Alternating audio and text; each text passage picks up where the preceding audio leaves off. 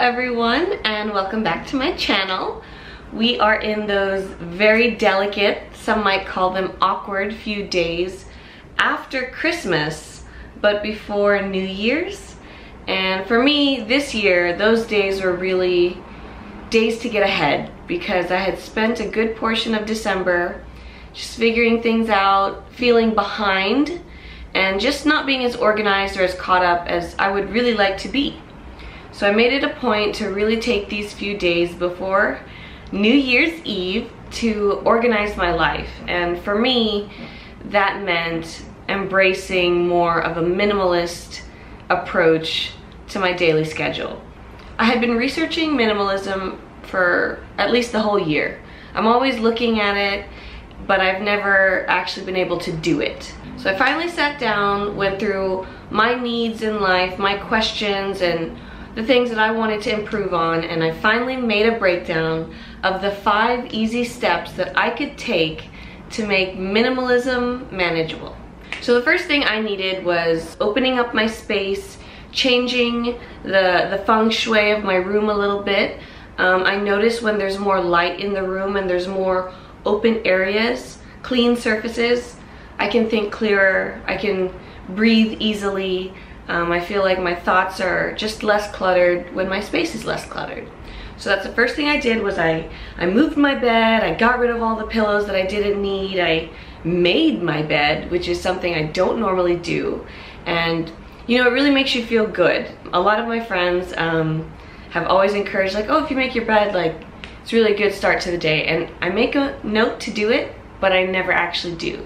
So today I made a point to bust out the duvet, make my bed, and just put my pillows away so that when I'm not sleeping, I don't feel like my bed is a place for sleep. Now I can work here on my bed, now I can film here, I can sit down and write in my ledger, create my schedule. The bed has changed from just a place of sleep or stagnancy to a place of productivity. And that was the first step for me. Now with point number two, I was a little bit intimidated. I honestly did not know where to start. Every time I try to start my minimalism journey, I start in the closet. And so what I did this time was, since that has never worked for me in the past, I decided to start in a different direction.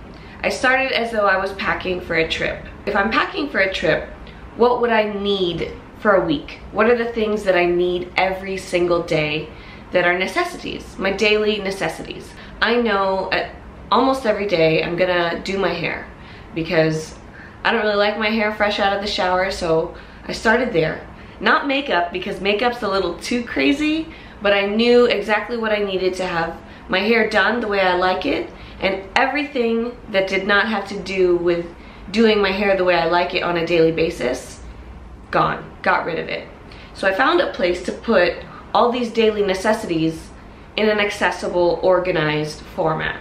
And I feel like having accomplished that and having accomplished step one, I felt really good. I felt like this this task is doable. We can we can tackle this giant minimalist project. So with those accomplished, I moved on to step three my non-daily necessities. And for me, this is camera equipment, duplicates, chargers, techie stuff. I must organize all the things that I don't use every day, but still cannot get rid of. And for me, I have a special shoebox of just all the tech stuff that I don't want to deal with, I don't want to look at, and I don't want to be hassled with. I don't want to be bothered with it. So I busted out the shoebox and I looked in it. I laid everything out and it was honestly absurd. I had camera equipment, audio equipment, GoPro equipment, which is its own separate genre of stuff. I had chargers, USB cables, battery packs, had all kinds of stuff in there. Mace, old phones and broken phones that I was afraid to throw away. Just ridiculous stuff, all kinds of stuff that I do not need. So that was step three was if I can tackle this shoebox of techie stuff will be one big giant step closer to just feeling a little bit lighter, feeling less weighed down by to-dos and clutter. So luckily for me, I was able to organize all those things in a small travel bag, which matches the travel bag that I use for my hair stuff. So now I have two out of three travel bags full of things that I need that are now completely organized. Felt great. Honestly, that tech box had not been organized or even looked at in years and I've just been moving it from apartment to apartment to apartment and to know that everything I need and everything that I may need in the future is all in one tiny compact case just felt great. So with this momentum that I had going, I really started to realize that, okay, if I keep doing a little bit every day, I could be a minimalist. I come from a family of hoarders. Everybody I know, mom, dad, aunts, grandparents, they all have way more things than they need. And I just grew up thinking that's normal, like you have to save certain things certain things you shouldn't throw away. And having watched a lot of my um, inspirations on YouTube, Matt D'Avella is one of them, I realized I don't, I don't think I want that for myself. And so every time I accomplish one of the steps, I feel a little bit better and I feel more encouraged and I feel just empowered to continue on and not rush myself. I think that's one of the most important things you should do is do not rush yourself and do not pressure yourself to do it all in one day because that's exactly how you have a breakdown and that's exactly how you quit. And that's what I've done every year up until this point is I've gotten overwhelmed and I've quit. And that's what we're trying to avoid here. Which brings me to step four. And for me, step four is absolutely crucial in the longevity of your minimalism journey. I have learned it's very important to tackle all of your daunting tasks one at a time. So like I mentioned earlier, for me, it's my closet. My closet has always been just intimidating, daunting. There's clothes in there that used to be my mother's when she was my age. There's valuable clothes, brand name things that I'm saving but I never wear. So for me, the closet's gonna take a few purges. I've done three purges this year, which has eliminated over half of my clothes, over half. So I've done one more purge, put everything in a, in a duffel bag, which will be given away. And even after getting rid of an entire duffel bag of clothes, I still wanna get rid of more. So that's a good thing because at least I'm, I'm encouraged, I'm feeling good about it, and I'm seeing even with this small amount of clothes, which is probably one third of what I had when I moved into this apartment, I'm still seeing things that I don't need, that I don't want, that don't bring me joy.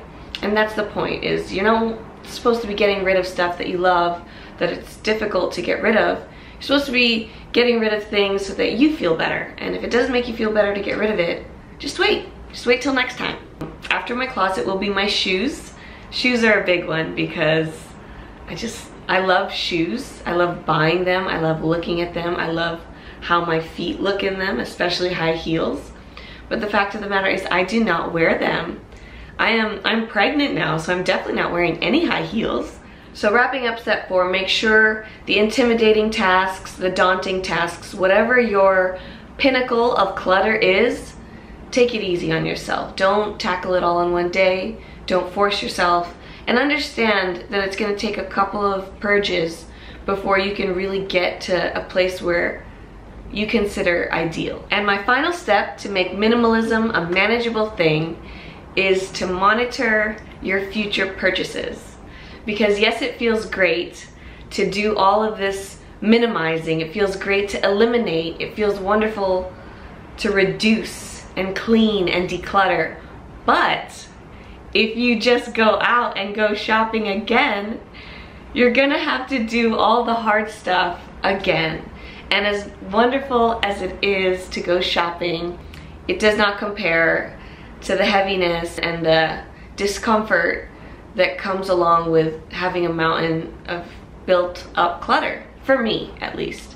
I never got that much of a rise out of shopping before, so I try to get pleasure from buying simple things like, let's say, candles, chapstick, cleaning supplies, things that I know that I will need, instead of buying them in bulk, I'll save them so I can buy them once a month and still get that satisfaction, still get the feeling that I'm shopping for things, even though I'm not shopping for necessarily material things.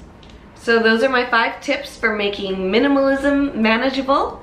Um, I hope they helped you as much as they've helped me, and I hope we can continue to keep things simple, keep things clean, and keep our lives and minds clutter-free. So please subscribe if you're not already, and I look forward to seeing you guys next time. Much love, everyone. Hopefully I'll see you again before the end of this year, and if not, I will definitely, definitely be seeing you next year.